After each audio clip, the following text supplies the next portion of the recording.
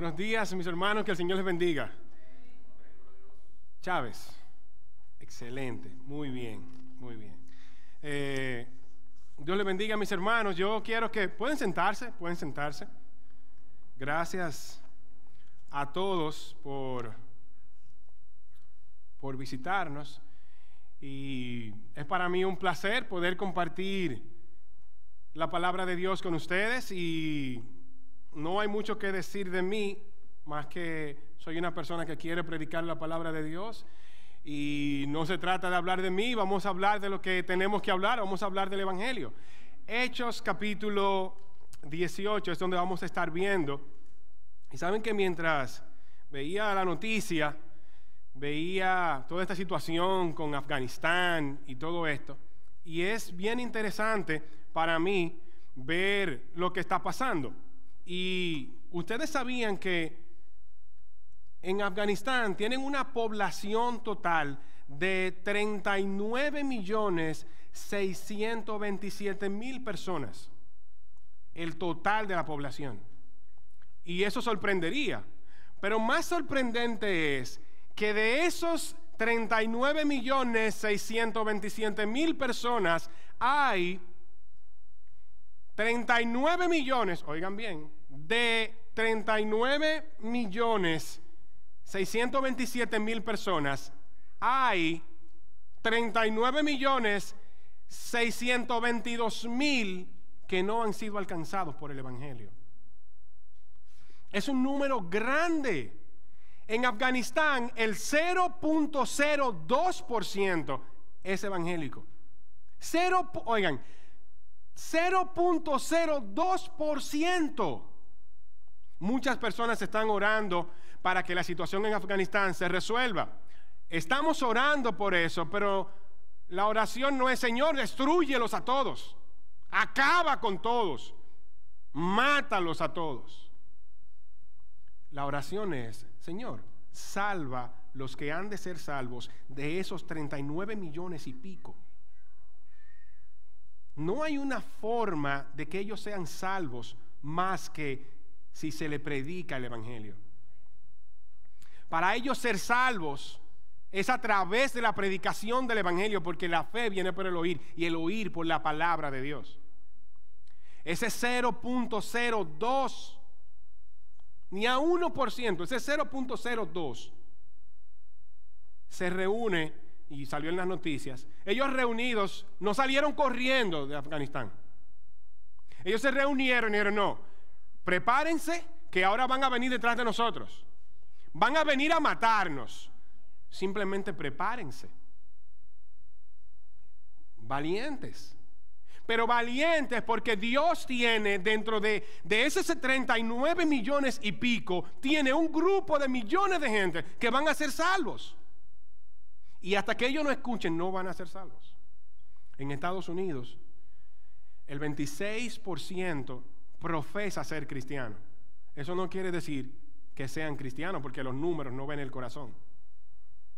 Pero profesan el 26% y algo de ser cristianos.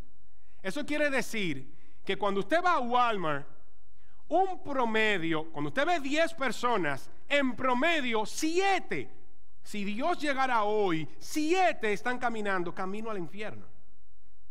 Siete. De diez, siete. Esa es una de las grandes críticas que se le hace al cristianismo.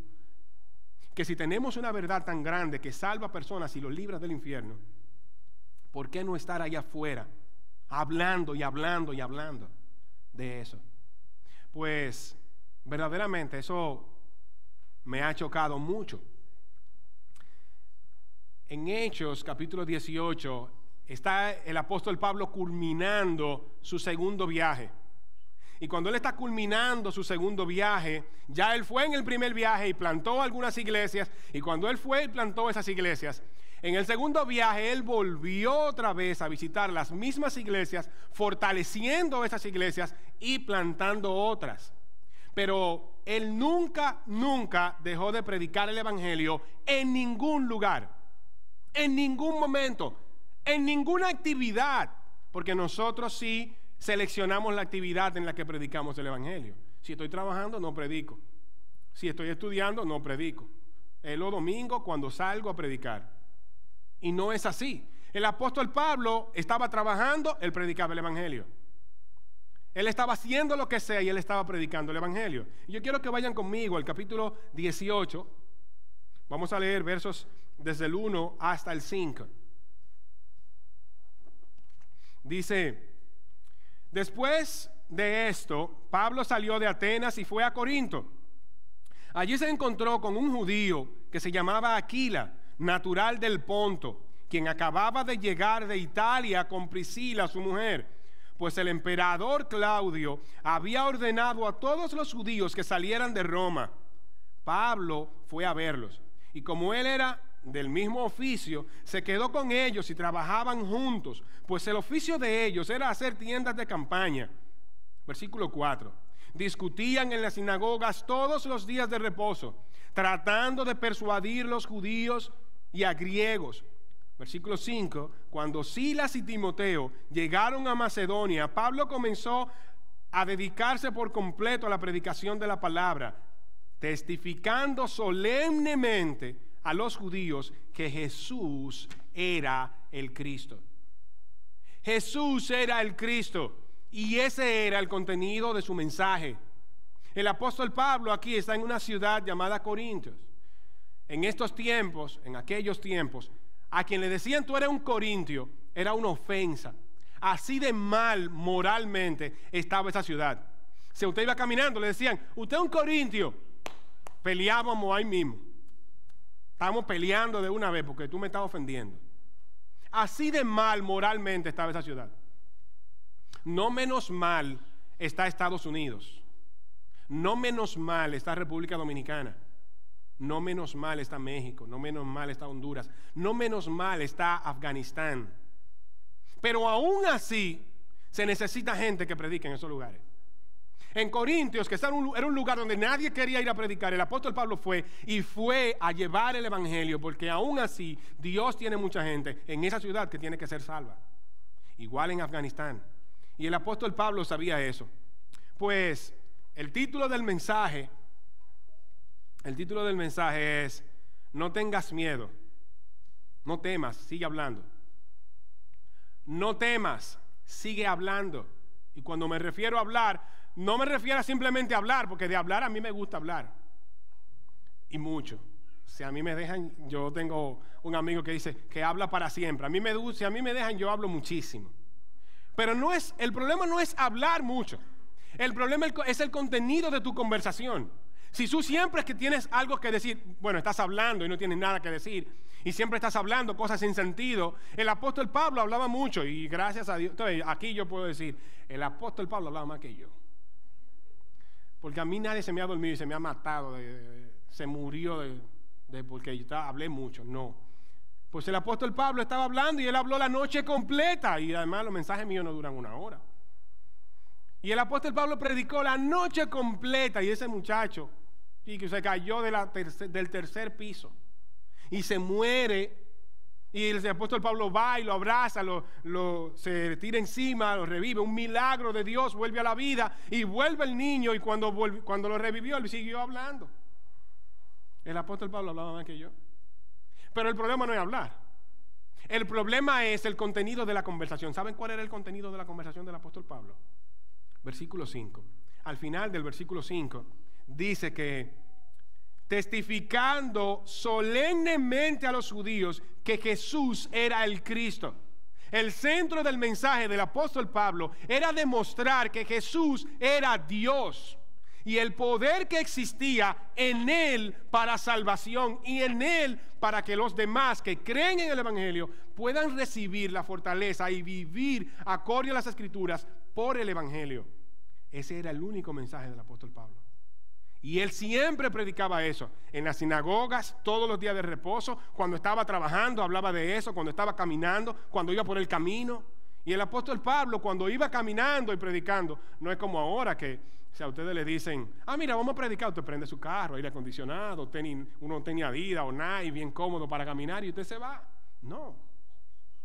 Cuando él tenía que predicar de una, de una nación a otra, no había ni siquiera, porque si a ustedes yo les digo, por ejemplo, vayan a Atlanta a predicar, ustedes sí, prendo mi carro y me voy a Atlanta. Pero si no hay carro, tú te vas por calles asfaltadas, bueno, buscando una sombrita aquí, una sombrita allí, unos tenis que sean buenos, te pones a levantar fondo y compra unos tenis buenos, de caminar y te vas. Pero el apóstol Pablo no era así. A pie. No habían sandalias especiales para caminar. No había unas sandalias especiales que se doblaban con, con la forma de la piedra y la cosa. No, era caminar horas, días, para llevar el Evangelio a una gente. Y ahora se nos hace difícil prender el carro para ir a la casa de otro. Porque aquí hay muchas cosas que, ay, tan difícil que...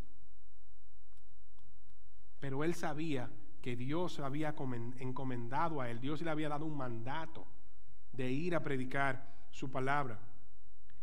Muchas veces nosotros tenemos conversaciones que no terminan en Cristo. El apóstol Pablo siempre buscaba la forma de que su conversación terminara en Cristo. No quiere decir que tú no vas a hablar de pelota.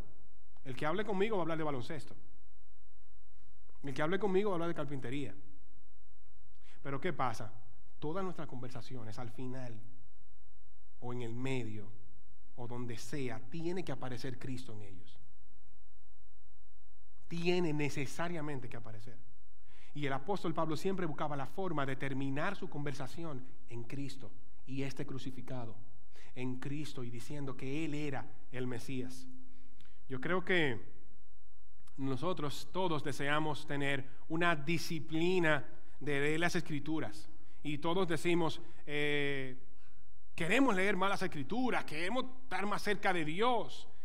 Yo tengo un amigo que él trabaja en una empresa aquí y cada vez que él, él ah, lo veo, en inglés él dice, tú le dices, ¿cómo tú estás? Y él dice, tú estrés. No, too blessed to be stressed. Yo estoy muy bendecido para, para estar estresado. Y tú le dices, ¿y, cómo, y, qué tú vas a hacer? Y él nada más dice, lo repite muchas veces, él dice, more word, more God, more word, more God. Y eso es cierto. Mientras más escritura, más Dios, más Biblia, más Dios, más lectura, más Dios, más memorización, más Dios, más Biblia en mi corazón, más Dios.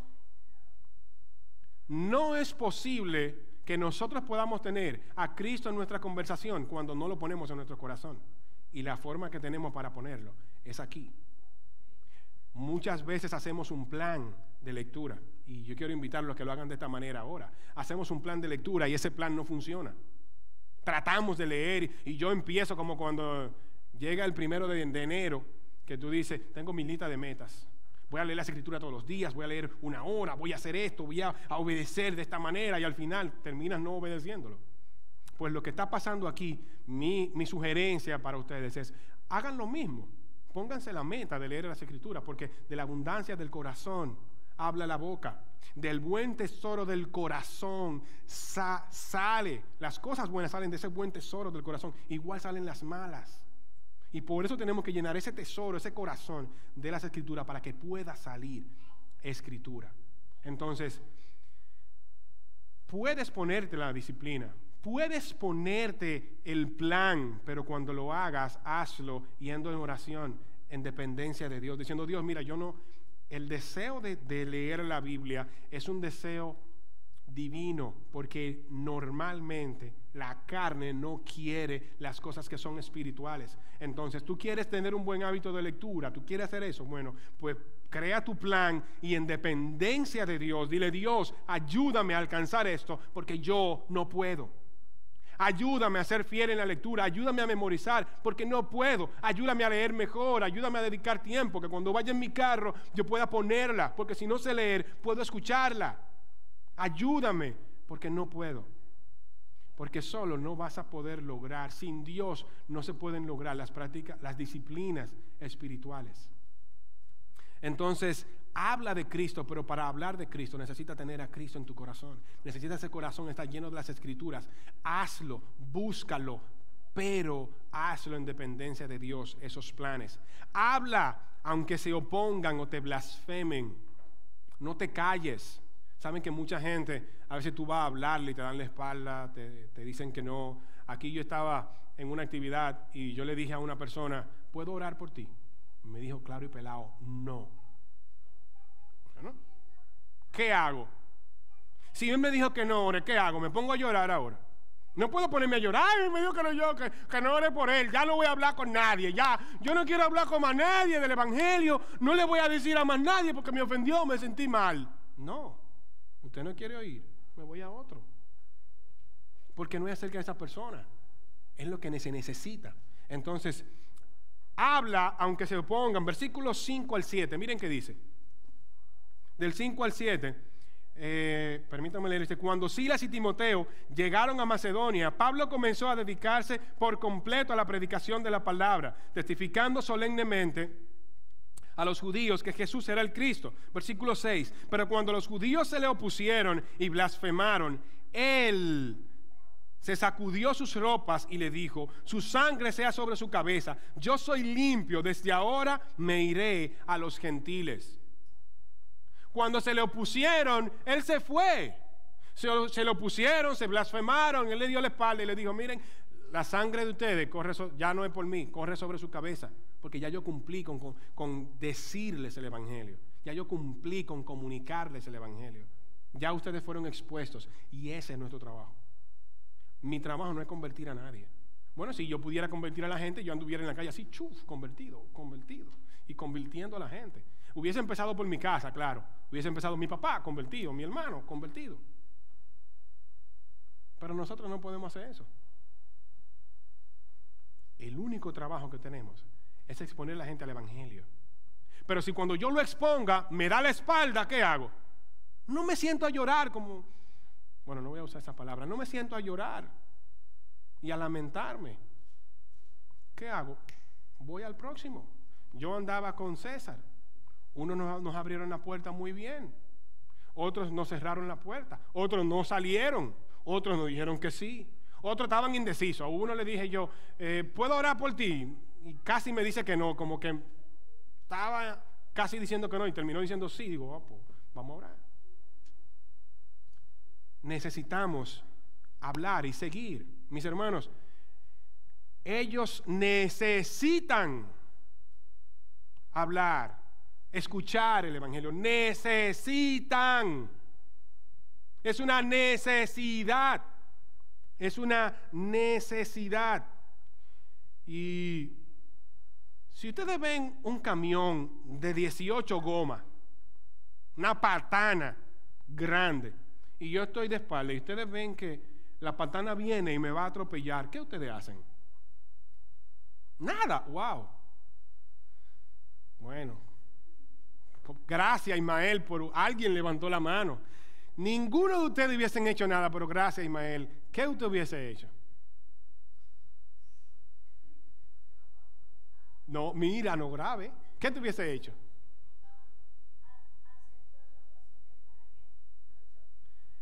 Hacer lo posible para que no me choquen. Gracias, Ismael, el único aquí que, que hubiese hecho algo por mí, caramba el camión me va a atropellar. Si usted puede tirársele arriba y llevárselo para el otro lado, quitarlo del medio, usted lo hace. Porque usted no va a dejar que ese camión lo atropelle. O usted va a sacar su celular y va a decir, déjame grabar aquí cuando lo choquen. Para subirlo a las redes y yo tener la primicia. Miren, fui yo que lo, lo grabé, lo subí. Eso pasa. Ustedes han visto muchas cosas difíciles y feas en el lente que una gente que decide grabarlo en vez de ayudar nosotros tenemos la misma situación. Ocho de cada diez están caminando al infierno. ¿Qué es peor que te choque un camión de 18 gomas? Y nosotros tenemos formas de hacer algo para que eso no pase. Pero no lo hacemos. Tenemos formas y tenemos la necesidad. Es una necesidad. Ellos necesitan, necesitan escuchar el Evangelio. Necesitan a Dios. Cuando Jesús estaba bajando a Jerusalén, Él estaba llorando. Y él estaba llorando y cuando vemos a Jesús llorando, mucha gente dice, oh mira, eso refleja la humanidad de Cristo. Sí, es cierto. Pero no solamente muestra la humanidad de Cristo también muestra la benignidad de Dios, la bondad de Dios, su misericordia y su amor por los pecadores. Porque cuando esa comunidad estaba mal moralmente, ese corazón lamentándose que él estaba y llorando, fue lo que provocó, no, no lo único, pero provocó que Cristo creara un puente, que Dios creara un puente entre el pecador y Dios para que pudiera cambiar, porque lo único que hace eso que necesita, es el arrepentimiento. Vayan conmigo a Romanos capítulo 2. Romanos 2, versículo 4. Miren qué dice. Dios es un Dios bueno. Y cuando él estaba llorando por, por la gente en, Jerusalén, porque era una ciudad que estaba mala y podía ser lo mismo por Corintios. Pero miren qué dicen en Romanos capítulo 2, versículo 4. Romanos 2.4 dice, o tienes un poco de riquezas de su bondad y tolerancia y paciencia, ignorando que la bondad de Dios te guía al arrepentimiento. La bondad de Dios, esa benevolencia de Dios, guía al hombre al arrepentimiento. Y eso es lo que nos enseña la Biblia. Entonces Dios es un Dios bueno que por su bondad, que por su gracia, lleva al hombre al arrepentimiento. Una muestra más de su bondad. Nosotros somos, mis hermanos, embajadores. Nosotros somos embajadores de Cristo. Pero cuando somos embajadores de Cristo, no somos embajadores para estar en una oficina sentados, porque ahora el embajador está sentado manejando papeles. En esos tiempos no. En esos tiempos un embajador iba a llevar el mensaje porque él representaba el Estado, el gobierno. Y cuando él representaba el Estado que le estaba representando, él iba a llevar el mensaje y no importa lo que estuviera pasando, él iba a estar ahí llevando ese mensaje. Que hay tan quemando la, ciudad, él iba a llevar el mensaje. Que hay peligro, él iba a llevar el mensaje. Que es muy temprano, él iba a llevar el mensaje. Ese era su trabajo como, como embajador. Segunda de Corintios, capítulo 5, versículo 20. Segunda de Corintios, capítulo 5, versículo 20. Un texto muy conocido. Yo sé que todos lo conocen. Dice, por tanto, somos embajadores de Cristo, como si Dios rogara por medio de nosotros, en nombre de Cristo, les rogamos, reconciliaos con Dios. Nosotros somos embajadores de Cristo. Y es como si Cristo rogara a los que no conocen de Dios a través de nosotros. Es Cristo rogándoles que se conviertan. Es Cristo rogándoles, reconcíliense con Dios. Arrepiéntanse. Y Cristo le ruega a través de nosotros como embajadores que tenemos que llevar el mensaje. Spurgeon me voy a permitir leérselo porque no quiero, no quiero ponerle ni quitarle porque me gusta mucho. Miren lo que Spurgeon dijo. Si los pecadores serán condenados, al menos que salten al infierno por sobre nuestros cuerpos.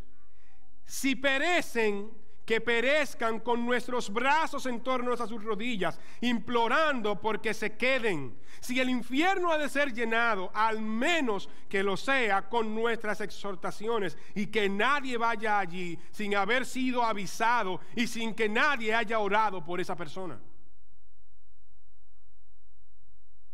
Si van a ir al infierno, como hay muchos que van a ir, que vayan porque se vayan por encima de nuestro cadáver. Tú vas a ir para el infierno, tú te vas, pero tú te vas por encima de mí, por encima de mí. Tú te vas a ir para el infierno y cuando tú llegas al infierno, tú te vas, pero yo me voy a quedar agarrado de tus rodillas hasta que te arrebaten de mi mano. Pero yo voy a luchar para que tú seas salvo. Y si depende de mí, tú no te vas sin que te avisen. Tú te vas a ir porque yo no, voy a yo no puedo controlar eso. Pero cuando te vayas, tú vas a llegar con mis manos marcadas en el cuerpo porque yo traté de no dejarte ir y como embajadores de Cristo, nadie puede ir al infierno sin que nosotros le avisemos, sin que nosotros oremos por ellos, sin que nosotros luchemos para que no le pase. Y yo estoy seguro que si, si es para tus familiares, tú quisieras que fuera así. Nosotros también queremos que todos tengan la misma oportunidad. Habla. Tú no estás solo. Habla. No tengas miedo. Habla de Cristo. Comparte el Evangelio con las personas. Pero no tengas miedo. Porque Dios está contigo. Miren, vayan conmigo, vayan todos, por favor, a Hechos capítulo 18, versículo 9. Todos, por favor, yo lo voy a esperar. Hechos capítulo 18, versículo 9.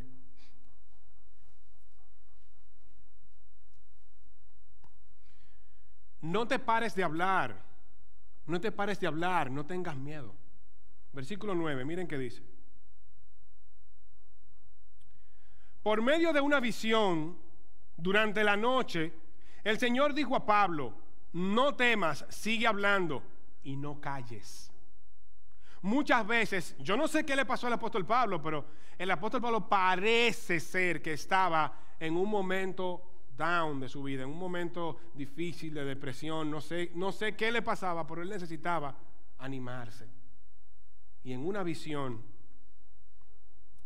Dios le dijo, no temas. No temas, sigue hablando, no te calles. Y lo mismo es para nosotros. No temas, sigue hablando, no te calles. ¿Por qué? ¿Por qué no me callo? Porque yo estoy contigo y nadie te atacará para hacerte daño. No temas. Sigue hablando, no te calles, nadie te atacará porque yo estoy contigo. Y quien está diciendo eso es Dios. Y todo el poder que actúa en la resurrección de Cristo, que nunca antes ha visto el planeta una expresión de poder como esa.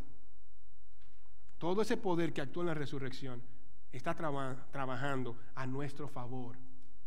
Y Dios mismo está diciendo, no temas, yo estoy contigo. Vete, háblale. Que no te dé vergüenza. Que no te dé vergüenza que te cierren la puerta. Que no te dé vergüenza que te digan que no quieren escuchar el Evangelio. Que no te dé vergüenza que te digan nada. Porque Dios está contigo. Y Él dice, vete, habla, no tengas miedo, no te calles. Nadie te atacará para hacerte daño. Nadie te atacará para hacerte daño. Pero algo importante, nadie te va a atacar no por quien tú eres. Nadie te va a atacar porque Dios dice, yo tengo mucha gente en esta ciudad. Y cuando Él dice, tengo mucha gente en esta ciudad, Él no está diciendo, aquí hay muchos cristianos. Lo que Él está diciendo es, yo tengo mucha gente aquí que tiene que ser salva. De, eso, de, ese, de esos ocho que están perdidos, algunos tienen que ser salvos. ¿Cuál es? No sabemos. Si el, si el 70% aquí en Lancaster no es cristiano, de ese 70% hay mucha gente que tiene que ser salvo. Y la única forma es el Evangelio, porque no van a escuchar si nadie les predica. Porque la fe viene por el oír y el oír por la palabra de Dios. Alguien tiene que predicarle. Él dice, nadie te va a detener. Si Dios es por nosotros, ¿quién contra nosotros? Nadie te va a detener porque yo tengo mucha gente aquí. Y tú estás haciendo un trabajo que yo quiero que tú hagas. No solamente habla que Dios está contigo, también hay que ser sabio, ¿ok? Hay que ser sabio con el Evangelio. El Evangelio no es una conversación de un momento. Es una, no es para obligar a la gente a casi que se convierta, que tú necesitas, que te, necesitas convertirte.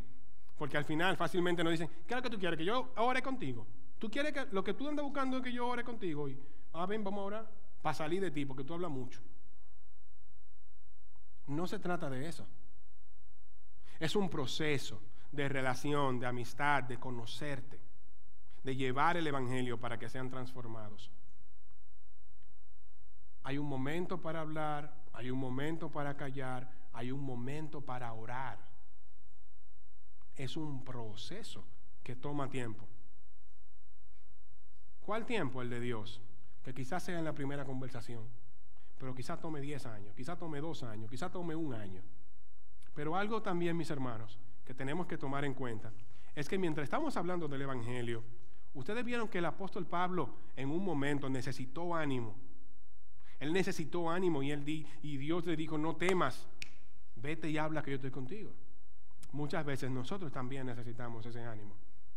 Entonces, a medida que tú te llenas de la palabra, que tú hablas del Evangelio, no te olvides de tus hermanos.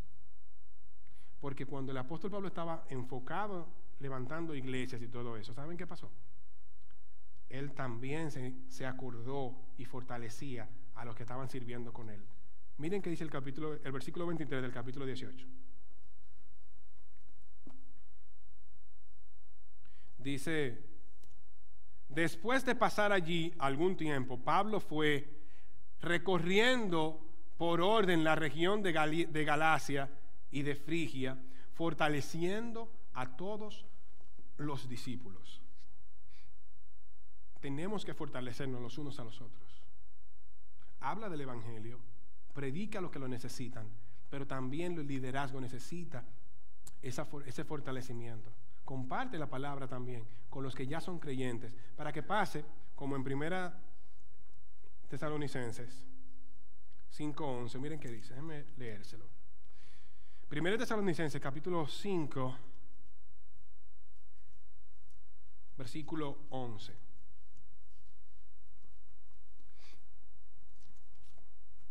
Dice, perdón, versículo 11.